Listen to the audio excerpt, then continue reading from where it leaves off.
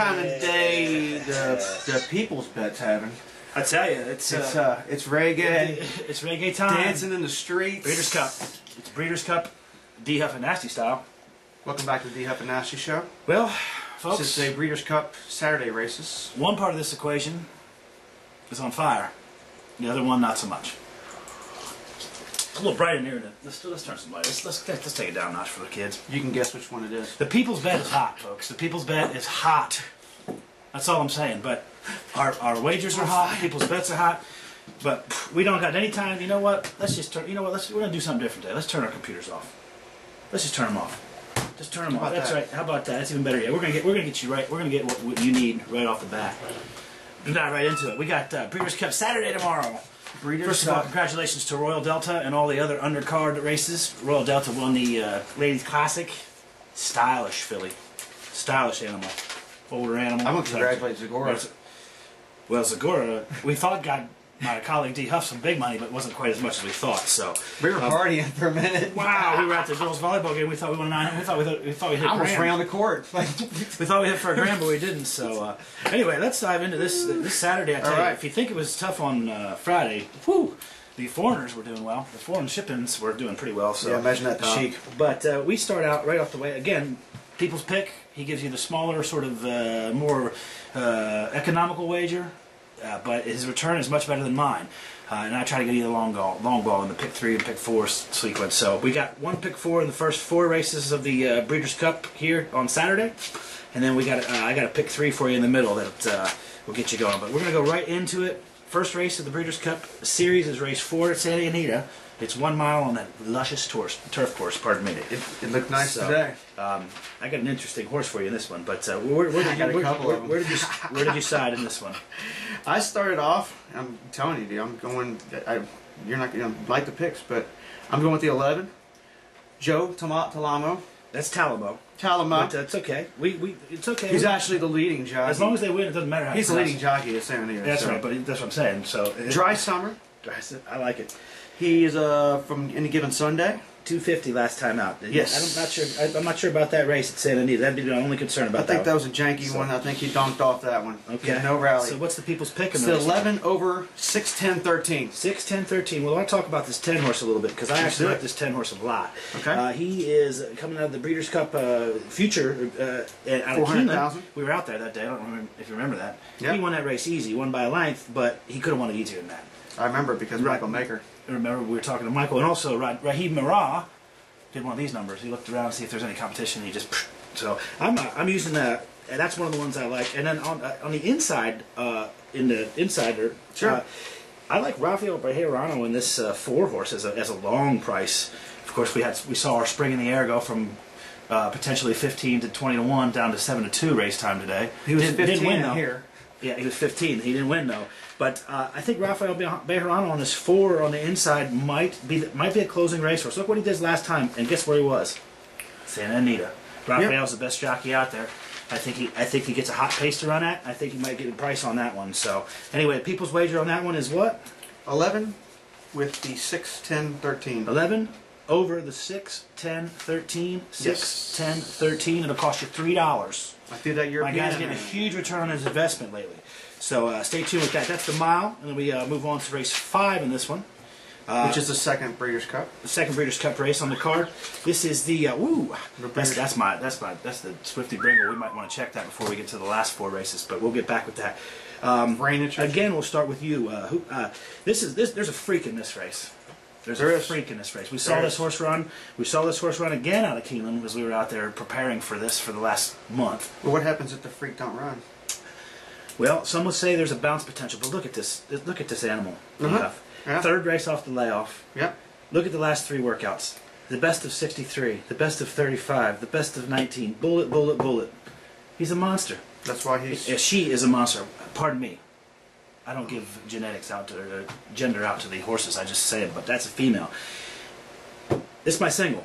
That's all I've got to say about this. I, I, I don't like to single the, the, the dead chalk, but I think in this particular race, seven furlongs, it's the right distance. be four to five tomorrow. It'd be four to five, but in the Breeders' Cup, when we do the whole thing, it's not going to matter. no, Go. Well, tell me what you're going with here. I've got him on top. Her on top. I mean, going for the short one, but we'll yeah, take it. I got an interesting bet because Okay, I found out see. something today. All right, tell me what you got. Um, it's still the same. It's the nine with the three six eight with three six eight ten. That And that's going to cost you four fifty. four fifty, right? Because of that extra horse. But- three, six, eight, ten. Why not throw the extra ten in? The ten, the ten, the ten has potential to be third. I like where you're at with that. Again, nine with the over the three six eight, which is you, Groupie Doll. William Bradley was in the paddock the other day. We were talking to him a little bit, and he loves the horse. Yep. Anytime you see a trainer that, that says he loves his horse, you know, in the Breeders' Cup races especially, usually they're humble in the Breeders' Cup races. If you talk to him, we talked to Zito today. He's not even out there. Why are they humble? Now it's a suspicion. Yeah, No, because they don't want you to bet on them because they don't want the price to go down. But I don't think it's those guys. They don't, they don't care about betting. Those kind of animals, they, they, the people, they, they don't care about that with their betting. Because every time the Groupie Dolls ran, he's been I know. I was just throwing that. out. Take a look at It was this. a funny. But yeah, it was. It, well, it wasn't that funny. That's. So anyway, we're, we're, we're but uh, on a side note, if you're going long ball in this race, I got a horse that might be, get there. If Groupie Doll doesn't fire, I say take a shot on the five horse on the inside. Mike Smith again. Long ball, he's a closer. There's a lot of speed in that race. There's And a lot of speed and in that again, race. So you might you might get a little value there. A lot. Um, but I, I just don't think you beat Groupie Doll unless he unless he unless she just doesn't want to fire. As simple as that. As simple as that. And Rahi's kind of cute for a Pakistani. I'm just saying, not to not to, not to get weird or anything. But anyway, so we got on the race on the race six. we talk about low Uh, countries. but real That's where I ran quick, let me see. Okay, that's six, seven, eight. This starts my first pick three, and I'll give you the pick four for the sequence when we're finished with the This first is part. the dirt mile. This is the Breeders' Cup Dirt Mile. It's a million dollars for three-year-olds and upwards. One million. These are boys. These are big, dad, bad boys. And again, uh, we have we have the, the resurgence of our old friend Shackleford with the Romans connections. Yeah. who- Uh, what's he doing? What's he gonna do? Well, he could be a bouncer, or he could run his like two back. He runs in the four hundred thousand dollar race. He, Yeah, he chumped out. but that was also mud, D Huff. Yep. He's never been known to run in the mud or the slop. He's not a mudder. I'm, I'm using him. The horse to beat in this race for me is Emcee. And it's not gonna rain tomorrow, right? No, it's not going to rain in California. That's it's going to rain local here in the. That's all Uh, we got to. That's enough. Yeah, we'll talk about that too. But uh, Emcee, um, and then I'll give you an outside horse I like in this one, and that's the, it's actually the inside post, um, rail trip for Jose Valdivia Jr. and Ronnie Ellis. I just I like the way this horse has run out west. He lo- he loves it loves it out there. He runs in the Pacific Classic, two races back for a million dollars. Yep. Uh, so he's run against some good ones. He ran against Dullahan. He ran against Game On Dude. Game On Dude is, is a big favorite in the classic. Um, Big. What's your what's the people's wager in this one? I'm throwing the seven out. I don't think he's not gonna be there. D Huff's not going to go with the seven. Interesting. I do have. I have two different bets. okay, let's But see it. Let's hear it. First one is Shackleford, the six, with the one five eight. One five eight. You gotcha. The other one is the. I'm going with the five on top of three six. Biz. You, what's that guy's name again? Joseph. That's Talamo. Talamo. Yeah, that's our buddy Talamo. Talamo. Come down with me. All right. I So got that what, one so what is the other one then? This one's He's- going he's not straight Asian. op- He's opposite actually, side. he's actually Cajun, but I mean, whatever. Cajun Asian. Just throw some sort of racial slur. Just, like, just throw some sort of racial slur on the, uh, the, the consonant. That wasn't a slur. Anyway, so tell me what this other bet The other You're- bet you're is supposed to I'm come going up- totally off key on the people's- opposite side you're getting because into, you're getting into people's back pockets here with these with these. yeah. I mean, God bless you. Bet you pay seven dollars to, said to bet on a race. Four fifty. That's what I'm saying. Yeah, well, the other one's three dollars, so it's What- what- seven fifty. what are you saying, D-Huff? I got the five with the three six seven, three six seven eight. Nice. I like it. There It's it is. completely opposite of what it people's but it's got some long ball in there. And I've so- got, uh, I, I use that and I'll come back and do my pick four at the end. Yes. Uh, we have two more races to do in this first sequence. This one is the $1 million Breeders' Cup Turf Sprint. This is always an interesting race because, as you can see, where they come, they come down the hill and around that crazy turn and then Hey, down the hill they come. Well, not exactly, but that's. Uh, you guys been on the Mountain Dew tonight, so look out.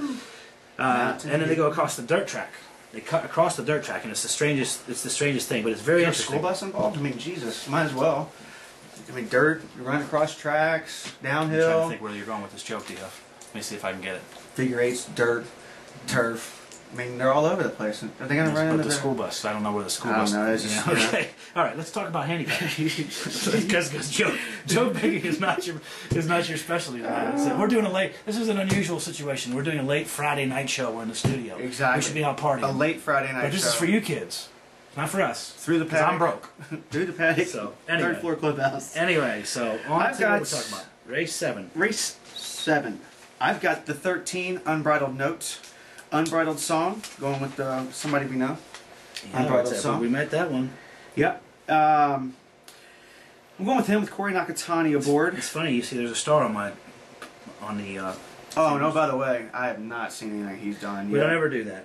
Anyway, keep going, buddy. I go Let's- home Let's go. That's All right. it's the people's wager. with it's the three dollar wager. I'm going. Yeah, but the, it's been hot. It's so been hot, back. but we don't Thirteen over spend a lot of the. I'm going with the thirteen over the one eight nine, California flag. 13 over the 189 is the D Huff People's Choice wager.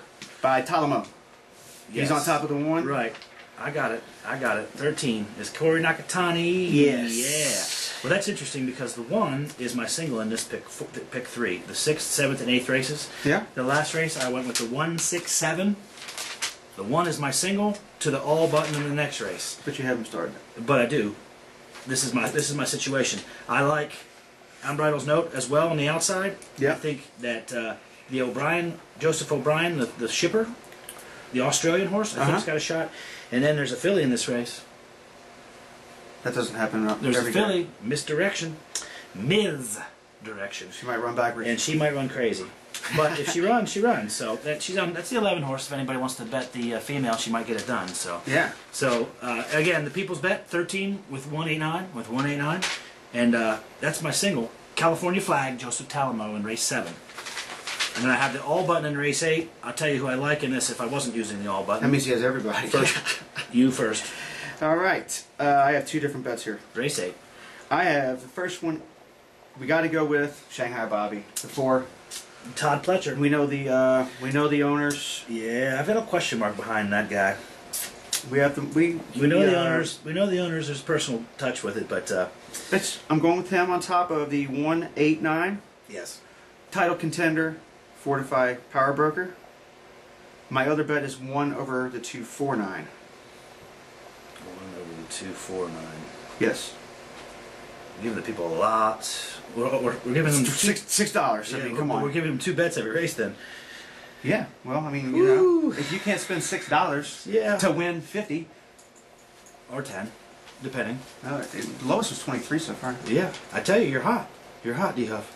But the people's bet is one is an economical It bet. can be bet. It can be. It can be. Six dollars. That's right. Do you want to do another one? It's cheaper than the beer. Do another one. It'd be nine bucks then. The beers are seven bucks. Yeah.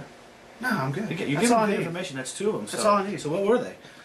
All that I got. The, The four, second of four of the one eight 249. nine. Four of the one eight nine. Right. Four over the one eight nine. And again, you have to remember that it's impossible for both of these wagers to hit. Yeah, so you lose three dollars. So you can also do it for 450 if you add another horse to either one of them, according to the newest But arrangement. the main one is four over the one eight nine. That's the main one. Yes. All right. We saw that your secondary bet was actually lucrative Yeah. earlier today. To Maybe we shouldn't have given them that one. So anyway, that's the four through eight races. I, uh, I like in that race. I like a lot of the same horses. I like the Power Broker. I'm actually thinking that Shanghai Bobby might bounce in that race. I've got an outside chance on the six horse Dynamic Sky. I like that one a bit, and then I really do like the the title contender on the inside, The one- Martin Garcia. Bob Baffert. Um, re- to refresh my pick four, the pick four will be uh, in the race four will be four, six, 10, 13, with singling Groupie Doll in the fifth race, and then on the sixth I have the one, six, seven, seventh race, 1, 11, 13, 14, all outside horses except for the one. That'll cost you forty bucks. Forty. And, and the pick three was going to cost you thirteen fifty. For fifty three dollars and fifty cents are my wagers for the early four through eight races of the Breeders' Cup. We're going to take a short little break here. And we'll be back. We got another show coming for the last four races and the Chaluki the big ones. and the home race Chaluki.